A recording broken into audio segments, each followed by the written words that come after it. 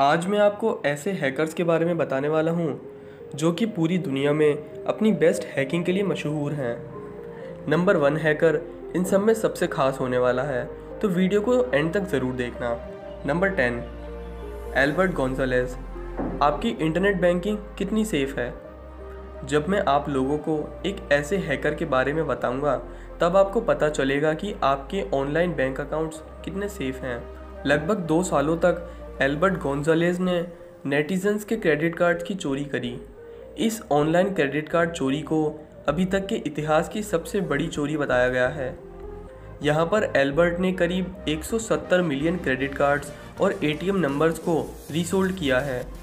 इसके लिए उसने एक स्निफ़र को इंस्टॉल किया था।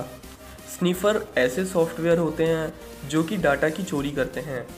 स्निफ़र इंस्टॉल करने के बाद उसने इंटरनेट कॉरपोरेट नेटवर्क्स की डाटा की चोरी करी। इस अपराध के लिए उसे 20 सालों की सज़ा सुनाई गई। नंबर नाइन, अस्त्र। अस्त्र एक संस्कृत का शब्द है, जिसका मतलब है वेपन यानी हथियार। ये इस हैकर का हैकिंग नेम था। यह हैकर केवल वेपन्स की चोरी और उनको बेचता है। यह एक अट्ठावन साल का बूढ़ा ग्रीक मैथमेटिशियन है। जिसने कि फ्रांस के डी असोल्ट ग्रुप को हैक कर लिया था और उनकी वलनरेबल वेपन्स टेक्नोलॉजी की डाटा को चोरी कर लिया था। इसने करीब पाँच सालों तक उन्हें अलग अलग देशों की बिक्री करने से रोकता रहा। हैरानी की बात है कि अभी तक ऐसे किसी हैकर को पकड़ा नहीं गया है और ऐसे हैकरों की तलाश सन 2002 से आज तक चल रही है। कुछ लोगों के अनुसार अस्त्र ने लगभग 360 मिलियन डॉलर्स के डाटा को बेच दिया, जिससे कि कंपनी को बहुत ज़्यादा घाटा हुआ था। नंबर एट एनोनिमस रॉबिनहुड के विषय में कौन नहीं जानता है, जो कि हमेशा ज़रूरतमंदों की सहायता करता था, लेकिन उसके काम करने का अंदाज़ बाकी लोगों से अलग था। ठीक उसी तरह अब डिजिटल एज में भी एक डिजिटल रॉबिनहुड मौजूद है, जो कि रॉबिनहुड की परंपरा को आगे बढ़ा रहा है। एक हैकर्स का ग्रुप है, जिनका नाम है एनोनिमस और ये लोग अपने सपोर्टर्स के बीच डिजिटल रॉबिनहुड के नाम से जाने जाते हैं। शॉर्ट में इन्हें अनाउंस भी कहा जाता है। ये हमेशा गवर्नमेंट रिलीजियस और कॉरपोरेट वेबसाइट्स को अपना निशाना बनाते हैं। जैसे कि the F B I C I A, PayPal, Sony MasterCard और भी बहुत सारी बड़ी कंपनियाँ इनका मुख्य टारगेट रह चुके हैं। इनके ग्रुप के मेंबर्स का कहना है कि ये लोग केवल इंटरनेट सेंसरशिप और कंट्रोल को अटैक करना चाहते हैं। Number seven, Kevin Mitnick. Kevin एक ऐसा हैकर है जो कि हमेशा अरमानी सूट पहना रहता है। यदि आप इसके चेहरे को ठीक से देखेंगे, तब आपको एक मिड फोर्टीज़ का एक आदमी ही लगेगा। इसके चेहरे से आप ये कभी नहीं कह सकते कि ये एक साइबर क्रिमिनल है। एक समय था जब ये यूएस का मोस्ट वांटेड साइबर क्रिमिनल था। लेकिन अब ये एक एंटरप्रेन्योर बन चुका है। एक समय था जब केविन ने नोकिया, मोटोरोला, यहाँ तक कि पेंटागन को भी हैक कर लिया था।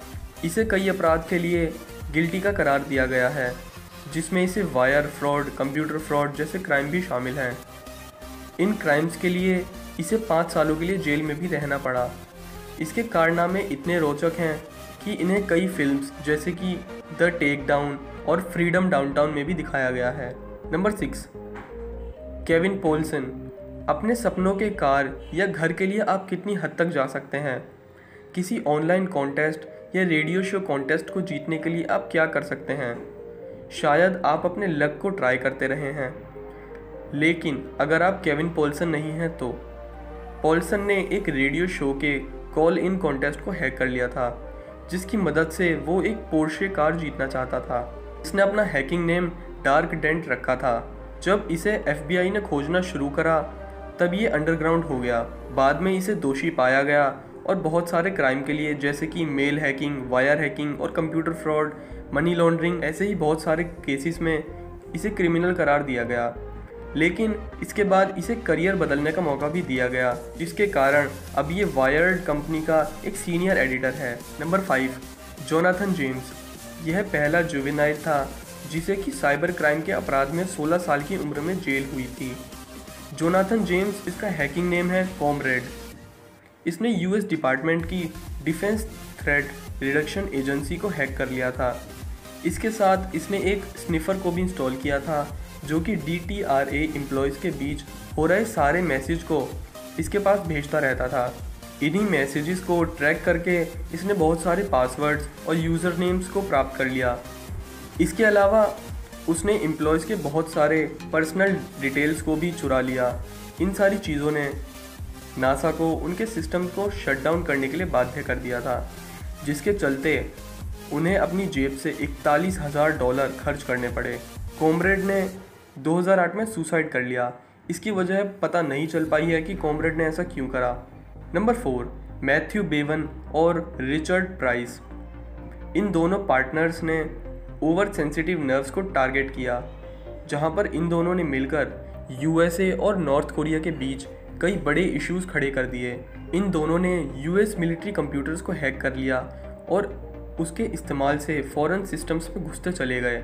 इन्होंने कोरियन एटॉमिक रिसर्च इंस्टीट्यूट के महत्वपूर्ण कंटेंट्स को यू सिस्टम में अपलोड कर दिया। लेकिन इनमें से ज़्यादा कंटेंट्स साउथ कोरिया के लिए ज़्यादा इंपॉर्टेंट थे। लेकिन कुछ भी हो, इन दोनों हैकर्स की वजह से एक बहुत बड़ा इंटरनेशनल इशू खड़ा हो सकता था, जो कि इनके पकड़ने के बाद रोक दिया गया। Number three Adrian Lamo Adrian Lamo ने अपने करियर में स्विच करना चाहा, जब उसे ये पता चला कि उसकी काबिलियत उसके स्किल्स में है। वो तब एक बड़ी न्यूज़ बन गया, जब उसने याहू माइक्रोसॉफ्ट गूगल और द न्यूयॉर्क टाइम्स जैसी बड़ी कंपनीज़ को हैक कर लिया, जिसके बाद में उसे अरेस्ट कर लिया गया। लेकिन उसके साथ ही उसे एक अमेरिकन थ्रेट एनालिस्ट की उपाधि भी मिल गई, जो बाद में उसके बेहद काम आई। एक ऐसा लड़का जो कि बड़ी बड़ी कंपनीज़ के अकाउंट्स को एक नॉर्मल जगह जैसे कैफेटेरिया लाइब्रेरीज इंटरनेट कैफ़े ऐसी जगहों पर बैठकर हैक कर लेता था। बाद में इसने कई बड़े क्रिमिनल्स को एफबीआई की मदद से भी पकड़वाया था और इसके बाद लेमो फिर से अंडरग्राउंड हो गया। कुछ लोगों का ये भी कहना है कि हो सकता है वो अंडर कवर होके एफबीआई के साथ काम कर रहा हो। नंबर टू लुल्स सेक लुल्स सेक या इसे लुल्स सिक्योरिटी के नाम से भी जाना जाता है। ये एक high profile black hat hacker group है। ब्लैक हैट हैकर ऐसे हैकर्स होते हैं जो कि इलीगल तौर पर हैकिंग करते हैं। ये हैकर ग्रुप तब लोगों की नज़र में आया जब इसने बड़ी बड़ी कंपनीज़ जैसे कि Sony, News International C I F और भी दूसरी बहुत बड़ी बड़ी कंपनीज़ को हैक कर लिया। ये ग्रुप इतना ज़्यादा खतरनाक है कि इन्होंने न्यूज़ कॉरपोरेशन अकाउंट तक को भी नहीं छोड़ा और इन्होंने झूठी रिपोर्ट पब्लिश कराई और बहुत सारे टीवी स्टार्स के मरने की झूठी खबर भी छापी। ये ग्रुप ये क्लेम करता है कि उन्होंने रिटायरमेंट ले लिया है, लेकिन इनका मोटो जो कि है तुम्हारी सिक्योरिटी पर हम हँसते हैं सन 2011 से। अभी भी ज़िंदा है। ये लोग कई बार बड़े बड़े न्यूज़पेपर वेबसाइट्स को हैक करके अपने रिटायरमेंट की खबर भी पब्लिश कर चुके हैं। बहुत सारे लोगों का ये भी मानना है कि ये ग्रुप बस लोगों की नेटवर्क सिक्योरिटी में स्थित कमियों के विषय में लोगों के अंदर अवेयरनेस क्रिएट करते हैं। Number one, Gary McKinnon. अगर आप हैकिंग के बारे में थोड़ा सा भी इंटरेस्ट रखते हैं तो आपने गैरी मिकिनन के बारे में ज़रूर सुना होगा। गैरी मिकिनन एक बहुत ही क्यूरियस रेस्टलेस बालक था, जिसे कि एलियंस और यूएफए के विषय में जानकारी प्राप्त करनी थी। इसीलिए इसने सोचा कि क्यों ना नासा की वेबसाइट से डायरेक्ट एक्सेस प्राप्त किया जाए, जिससे वो ज़्यादा जानकारी प्राप्त कर सके। इसीलिए इसने 97 यूएस मिलिट्री और नासा कंप्यूटर्स में एक वायरस को इंस्टॉल किया और उनके कुछ अहम फाइल्स को डिलीट भी कर दिया। ये सारी चीज़ें वो अपनी क्यूरियोसिटी को सेटिस्फाई करने के लिए कर रहा था। इसी क्यूरियोसिटी ने बाद में इसे पकड़वा भी दिया। मैकिनन को बहुत ही जल्द दोषी का करार दिया गया, क्योंकि इसने मिलिट्री और नासा के वेबसाइट्स को अपनी गर्लफ्रेंड की आंटी के घर से हैक किया था, जो कि लंदन में रहती थी। इसने केवल वेबसाइट को हैक कर कुछ फाइल्स को डिलीट करना ही ठीक नहीं समझा, बल्कि इसने उन लोगों को ये सूचित करना चाहा कि उनकी सिक्योरिटी कितनी ख़राब है, जिसके लिए इसने एक नोटिस बनाकर वेबसाइट के अंदर पोस्ट कर दिया। इससे पता चलता है कि मैकिनन कोई आम लड़का नहीं था। उसने यूएस मिलिट्रीज वॉशिंगटन नेटवर्क को, जहाँ की 2000 कंप्यूटर्स मौजूद थे, उसे इसने 24 घंटे के लिए बंद कर दिया था। माना जाता है कि पूरे इतिहास में इससे पहले और इससे बड़ा मिलिट्री कंप्यूटर हैक कभी नहीं हुआ। तो फ्रेंड्स आपको इन सब हैकर्स में से सबसे बेस्ट हैकर कौन सा लगा? मुझे कमेंट्स में ज़रूर बताइए। और हाँ अगर आपको ये वीडियो अच्छी लगी हो तो प्लीज़ इस वीडियो को लाइक करना। और अगर आप चैनल पर नए हो तो चैनल को सब्सक्राइब भी कर लेना।